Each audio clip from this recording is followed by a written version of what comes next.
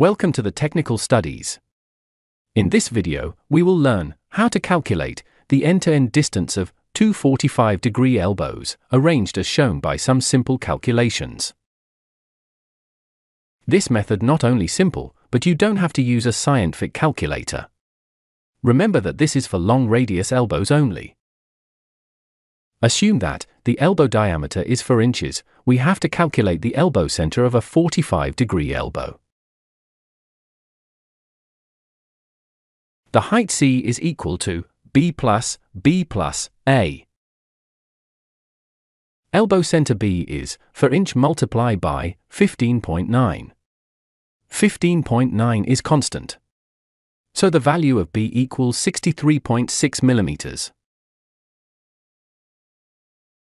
The distance of A is B divided by 0.707 is 90 millimeters. Now, B plus B plus A is 217.2 millimeters.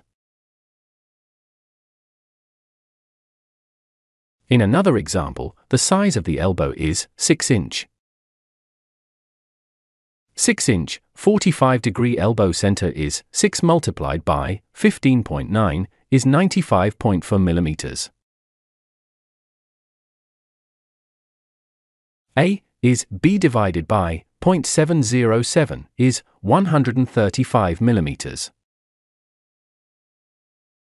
C is equal to 2B plus A is equal to 325.8 millimeters.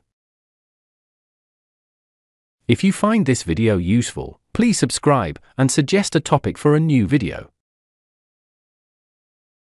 This is the dimensions of a 10-inch elbow assembly. You can do the calculations and compare with the dimensions in the given figure. The link for this sketch is given in the description. Thank you for watching.